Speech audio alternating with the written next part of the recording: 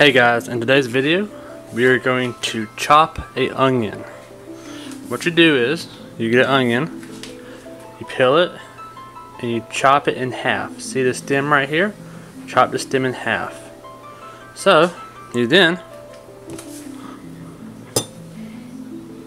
slice as close to the root as possible.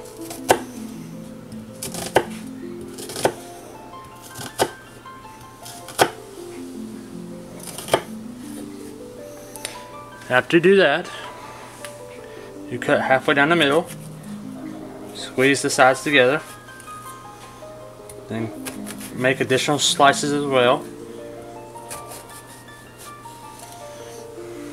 And then you just chop down like this. Let the knife do its work. And voila.